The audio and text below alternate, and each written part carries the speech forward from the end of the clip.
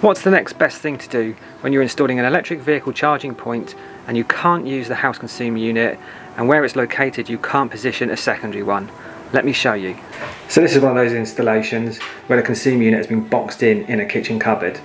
Now this consumer unit anyway is an old consumer unit, there's no spare ways, it's got a type AC RCD in it, I wouldn't be prepared to use it. I like to put a secondary consumer unit if I can, there's no space in here to put a secondary one in also I need to be able to get to the meter tails. They're underrated in 16mm. They're also in the cavity of the wall. I can't get to them. So I'm going to take you outside and show you what we're going to do. So what I'm going to do is install an IP65 rated consumer unit above this meter box. It's going above it because there's no room either side unfortunately, but I'm going to dress it the best I possibly can. Now when you're installing these IP rated consumer units, sometimes it's nice to put it within an enclosure but today I can't do that because there's just not enough room and I'll show you what I mean.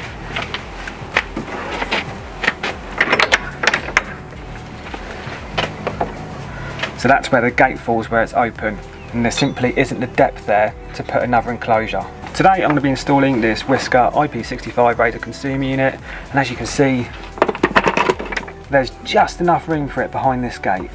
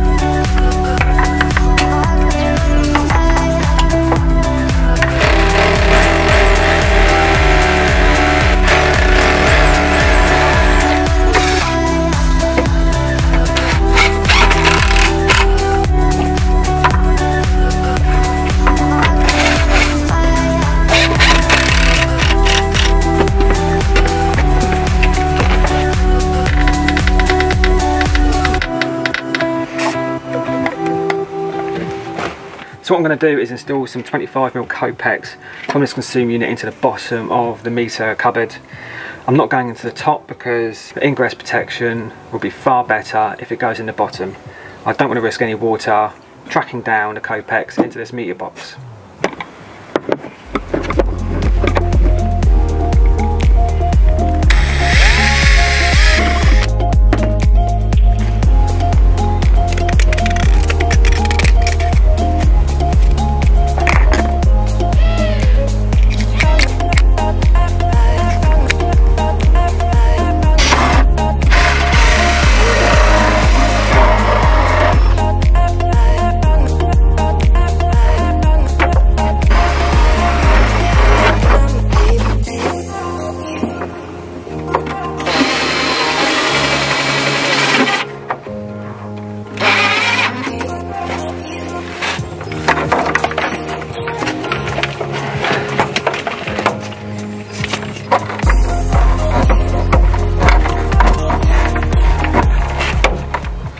Tip of the day, when you're feeding these cables through this Kopex, make sure you have the Kopex loose, otherwise you're never going to get these cables down that Kopex and around that bend.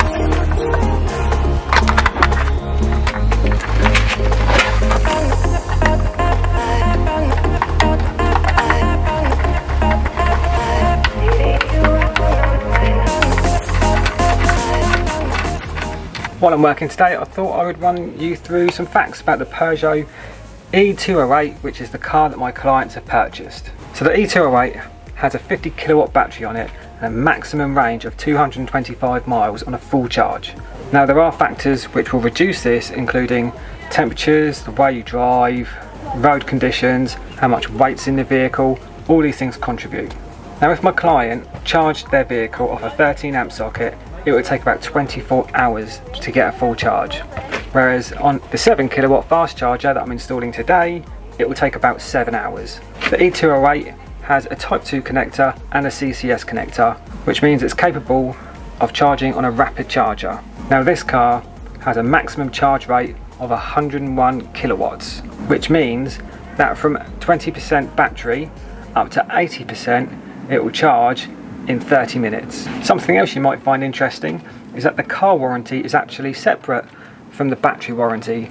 So with the Peugeot it comes with a 3 year warranty and the batteries come with an 8 year warranty or up to 100,000 miles. It goes from 0 to 60 in 8.1 seconds and has a top speed of 93 miles an hour.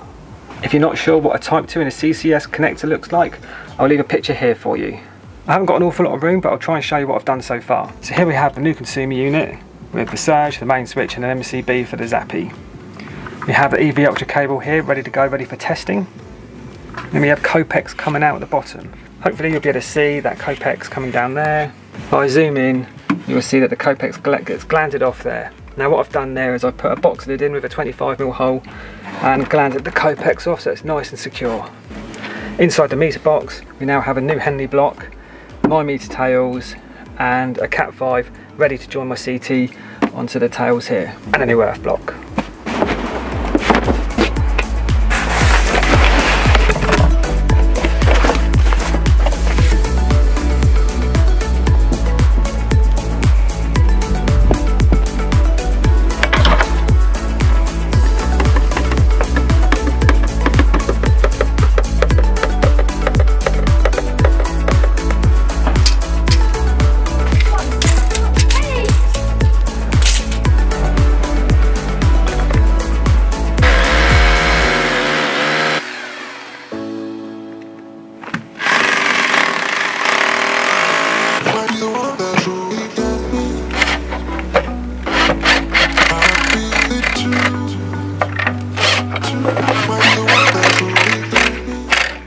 Now what's my honest opinion on the E208? Well it ticks an awful lot of boxes for an electric car. It's got a decent mile range. I know it's not as good as Tesla, but generally 200 odd miles is pretty good. You can charge it on a rapid charger, so you know that if you can find a rapid charger, which more and more are available these days, you know it's just going to take 30 minutes to top it up to 80%, which is enough time just to pop in, get a cup of coffee, and then before you know it you'll be ready to go again. Now as an everyday car I think the E208 is a great place to start. I think they've set a good standard for other manufacturers to follow. So I've got the Zappi mounted, I've got my ends all crimped up, I'm going to get on with dead testing, connect up the other end, do my live testing and then put this all together and commission a unit.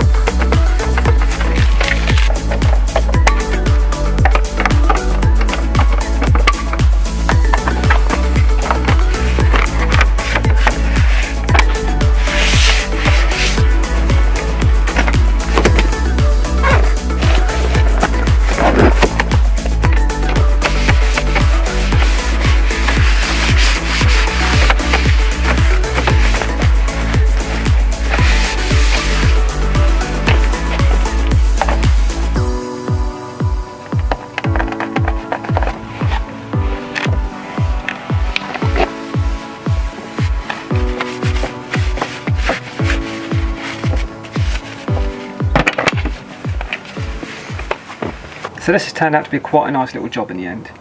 The problem I faced at the beginning was the consumer unit is on the other side of this wall, up high in a cupboard. There's no spare ways, it's an old board. There's not even space to increase the size and change it. The meter's on the outside of the wall and the meter tail's got the cavity. The meter tails are only 16 mil and as you well know, if you're trying to change those tails through the cavity, can go horribly wrong. So if I can, in these circumstances, I like to leave the existing installation so that has no bearing on me and start mine from scratch. So I'll show you exactly what I've done now. Here we have the new little IP65 rated consumer unit. Inside we've got the surge, the main switch and the MCB for the charger. It's a nice little unit to be honest. It's going to do the job alright. Also I am in like a corridor and there's a gate just behind me so this area is pretty well shielded from any elements anyway. Now outside of the consumer unit I ran some 25mm Kopex fixed to the wall as you can see. I only had a really narrow gap so but it's worked out quite nice, it looks quite tidy. And now in the meter box, now it's getting a little bit busy in here. We have a Kopex which loops down into the bottom, my meter tails into a new Henley block, new earth block. We have the CT here, now this CT I've positioned on the meter tails out of the meter before the Henley block, so it's picking up everything. I have a CT joint box here as well in this Wiska box which I've just fixed in here so that's solid. And that's it, a nice little tidy job. Now again, because I've had limited room to work here, I've had to take my EV Ultra cable out the side of my consumer unit and I've clipped it with Linian clips down this edge here and underneath the gate.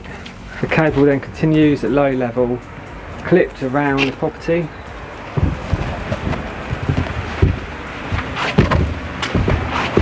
underneath the step discreetly and up to the charger. Thanks for watching. Don't forget to hit that subscribe button and give us a thumbs up.